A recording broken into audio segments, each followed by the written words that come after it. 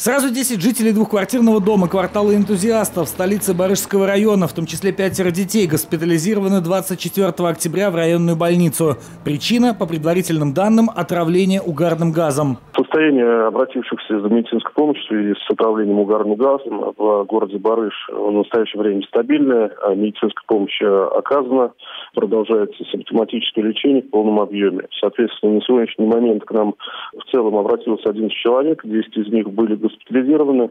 Это четверо взрослых, соответственно, которые госпитализированы, и шестеро детей в возрасте от одного года до 12 лет.